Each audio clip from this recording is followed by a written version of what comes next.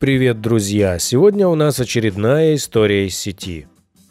Учитывая, что мировой океан на 80% остается неизученным, неудивительно, что в нем обитает множество странных и чудесных существ, которых мы никогда не видели. Но поскольку мы боимся всего неизвестного, любые твари, выброшенные из морских глубин на берег, тут же объявляются пришельцами с другой планеты. И хотя обычно это не подтверждается, конкретно это создание действительно производит впечатление инопланетного. Это загадочное создание выбросило на берег в городе Брум на северном побережье Западной Австралии. Черно-белые щупальца окружают какой-то непонятный бугор, напоминающий мозг, поэтому запросто можно предположить, предположить, что это представитель разумной внеземной цивилизации, решивший посетить нашу планету. Правда, если он такой разумный, непонятно, почему он оказался на пляже без средств передвижения. Фото загадочной твари было выложено на форуме пользователям, чьи мать и девушка нашли ее на пляже. Пользователь сопроводил снимок простым вопросом.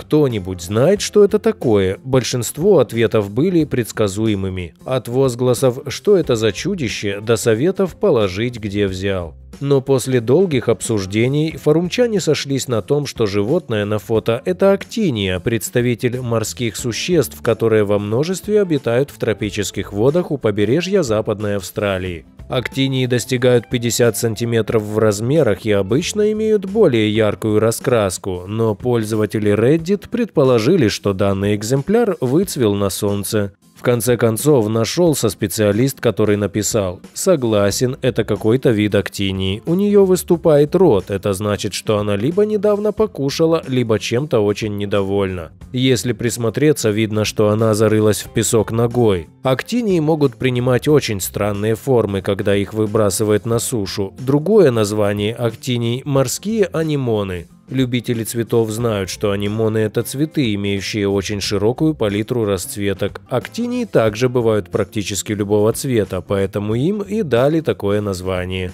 Я больше 15 лет работаю с коралловыми и морскими рыбами. Вот вам и отгадка. А вы когда-нибудь видели что-нибудь подобное? Напишите нам в комментариях.